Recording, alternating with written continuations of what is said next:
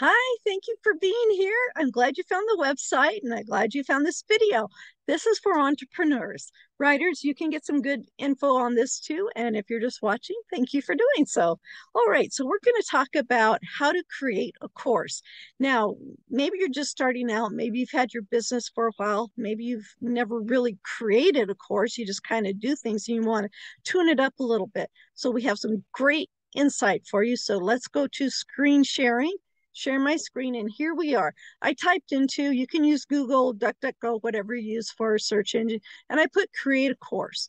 And there are all kinds of places to create courses online. Now, one of the most, you know, Wix, uh, Wix actually has a website, has a good one here too. Um, uh, Teachable is a really good one. Udemy.com is a good one. Um, both of these are really great places to set up a course. Uh, let's go to teachable.com. It's the first one I saw. Udemy is recommended to me just recently, so that's a good one to go to.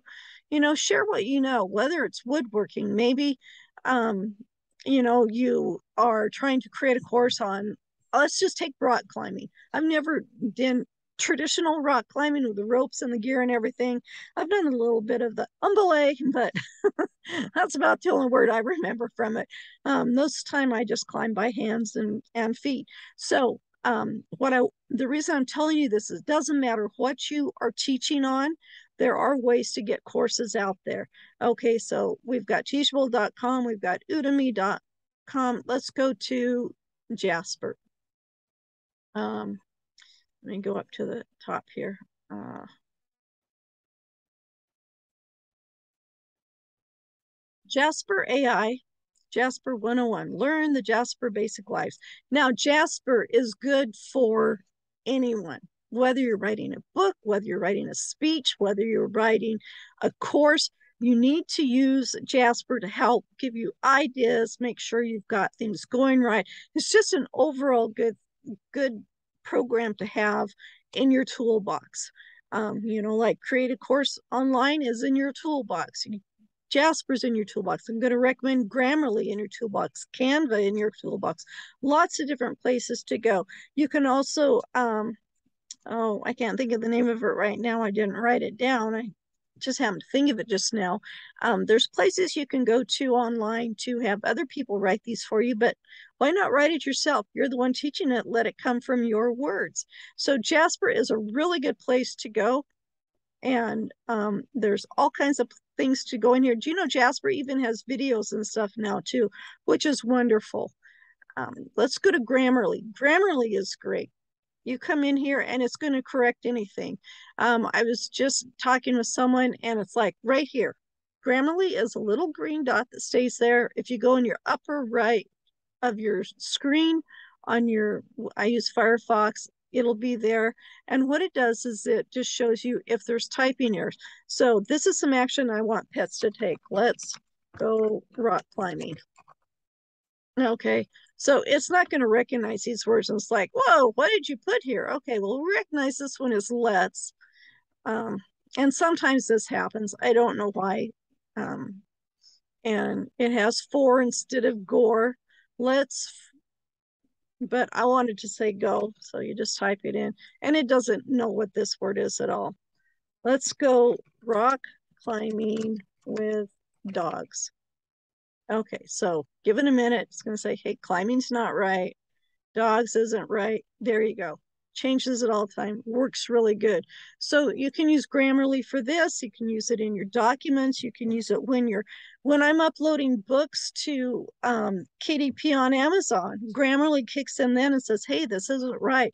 When I go to Canva, creating documents in Canva, here's this one here. Let's say that I did, um, uh, Podios. Well, Grammarly is right there. It's going to come in and says, hey, wait a minute, Podios is not right. You wanted videos? Yes, I did. And yes, I did want dot PDFs. Okay, so now we're here in Canva. Canva is a great place to create um, anything you want to visually for your audience to see, to get people to come in.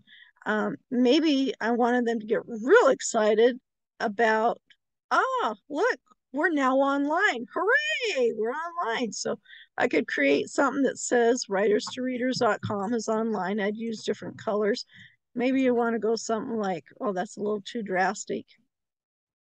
Um, writers to readers.com, shrink the words down a little bit. It's going to look small, but there I am. You can at least see it. Now you're going to see that, let's see if I can get it, that purple line there, that's really what people are going to focus on. So if you can get it in there, you know, they're going to see that. All right, writersreaders.com. I'm online. Woohoo! So is lskirkpatrick.com. That's my book website. Okay, so these are great things you can use, great tools that you have. Um, you know, search under here. I want you to kind of, you know, we talk about our niche, N I C H E. That just means what is it that you do? What are you really doing? And get specific as you can. I want to create a course, but I want to create a course for dogs, um,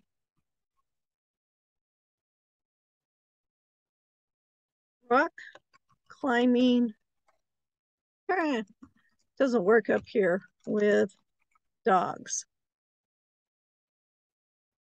So does anybody have a course for rock climbing? There you go. Top activities for a rock climber with dogs. How to build a backyard obstacle for your dog. Well, rock climbing etiquette. Should you bring your dog? You know, best dog climbing harness all kinds of things. You want to go to create your courses. See, there's more places here where you can create courses. I really like Udemy, uh, teachable.com. Tony Robbins and Dean Graziosi's has has a course on how to uh, create your own course. That's funny. Um, I took a course with Les Brown and it was just videos, paid 20 bucks a month. It was great. I got to be his prodigy for a while.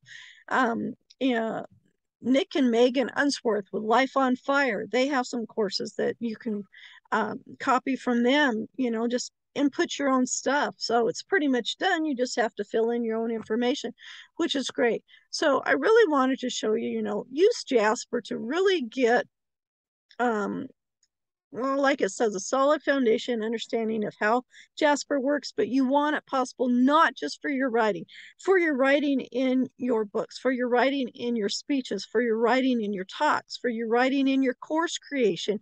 You want it to be the best and just captivating that's there. It's it's great. There's so many things to use here. So I just want to do a quick share with you and let you know about these things. You can find the links on my page and I appreciate you being here. And if there's anything I can help you with, be sure and let me know. We'll talk to you later. Bye-bye.